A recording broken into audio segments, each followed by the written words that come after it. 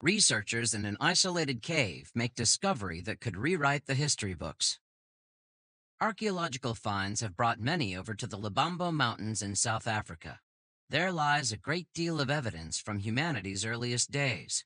However, these artifacts aren't found in the ruins of grand primitive cities. Instead, the deep and winding caves that serve as many early humans' homes were the focus of Dr. Wadley and her colleagues. One particular spot, known as Border Cave, led them into uncharted archaeological territory. Wadley, an archaeologist at the Wits University's Evolutionary Studies Institute in Johannesburg, was supposed to have seen it all. She'd received enough citations to put her in the top 1% of researchers, not just in archaeology, but across all fields. But her career would be transformed in the Lebombo Mountains. Many archaeologists have studied the area around the border cave because of the well-preserved record of human life spanning nearly 230,000 years. As a matter of fact, a famed digger surveyed it all all the way back in 1940. The influential Raymond Dart led the expedition and made headlines for finding human bone shards deep within the caverns. But after recovering these remains, as well as an early counting tool, Dart left many stones in the border cave unturned. But in the summer of 2020, Dr. Wadley's team wouldn't make the same mistake. The odds were against them, of course. With an elevation of 2,000 feet and a length of 30 miles, Border Cave was hard to reach and harder to survey. However, when Dr. Wadley stepped in with her fellow researchers, she noticed something rather striking along the ground. It was something that didn't grow naturally within the cave.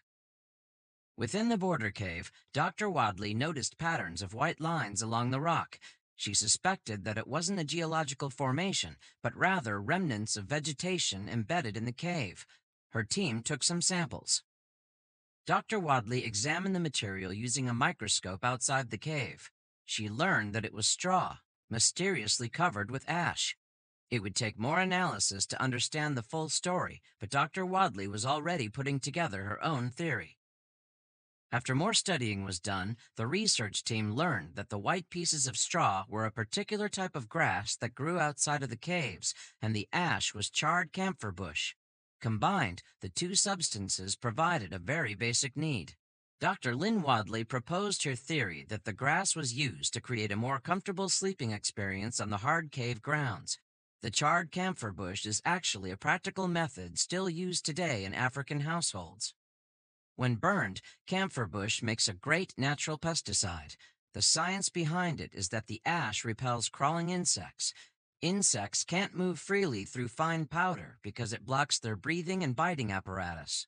Eventually, it leaves them dehydrated and running for life, creating a pest-free camp zone for the locals. Dr. Wadley and her team became really excited when they took to the scientific method of carbon dating. This would help them see just how far back in time these remnants of old-school mattresses were made. According to findings under carbon dating, the pieces of straw date all the way back to roughly 200,000 years ago. This made waves in the scientific community as it beats the all-time record for oldest bed. This bedding pales in comparison to the fluffy, high-tech mattresses we enjoy today, but it represents a milestone in human development. Wadley was eager to share her findings with the broader archaeological community. Still, she knew her work was far from done. With every new discovery, there is unfortunately always skeptics to fight back, but that's just the nature of finding the real truth. Many experts in the field felt that there was just not enough evidence that proves the abilities of people from so long ago. There's also a question of the precise date. Two human teeth were found near the bedding and threw some inconsistencies into Wadley's findings. One was about 200,000 years old, while the other was a mere 90,000. Some wondered if the bed was just a vestige of the more recent inhabitants' civilization. Carbon dating doesn't give you the most precise sense of an object's origin, so the record for oldest bedding is now up for debate. Dr. Wadley believes firmly that this is evidence of early humans creating the first beds, but even she wavers on how much it says about the people making it. The bedding doesn't really tell us anything about the complex cognition of humans, Wadley conceded.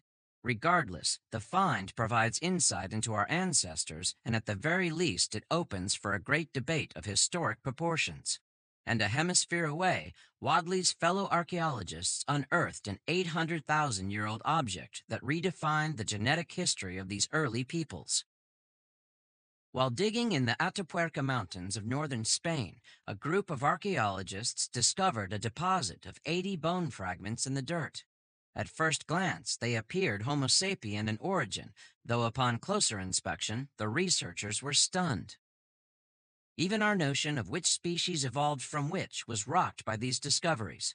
While it was generally accepted that Homo habilis evolved into Homo erectus, fossils found near Africa's Lake Tanganyika showed that these species actually lived side by side.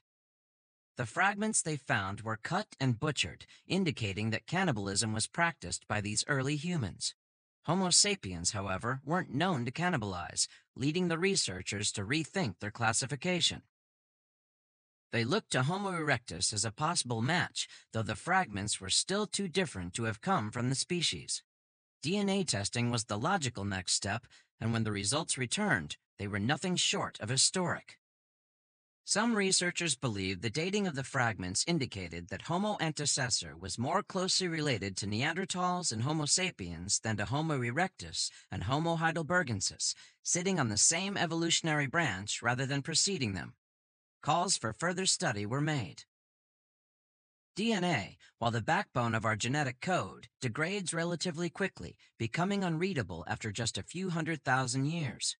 If researchers wanted to get to the bottom of Homo antecessor's place in the evolutionary chain, they'd have to look to something a bit bigger than DNA.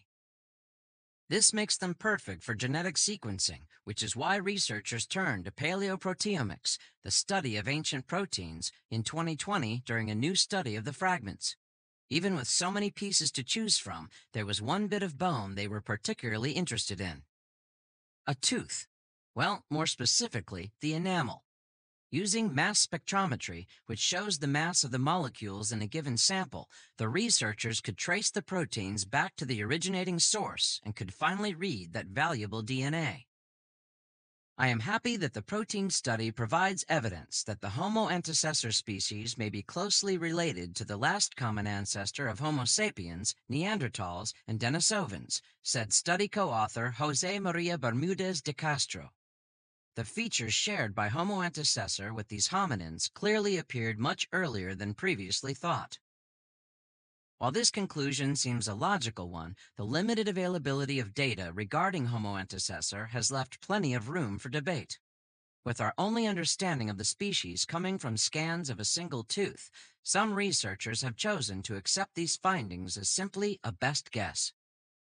The only way to know for sure where Homo antecessor fits on the chain of human evolution is to uncover more remains, a realization that's led countless other researchers to the Atapuerca Mountains in search of the truth. Yet these mountains aren't the only place archaeologists should be looking.